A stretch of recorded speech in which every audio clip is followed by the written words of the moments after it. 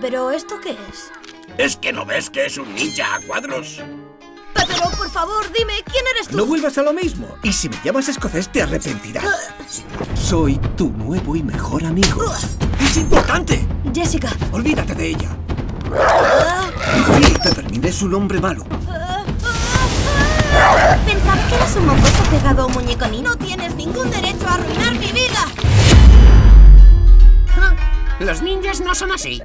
No, y los niños de tu edad tampoco pesan normalmente más de 100 kilos. Y ahí estás tú.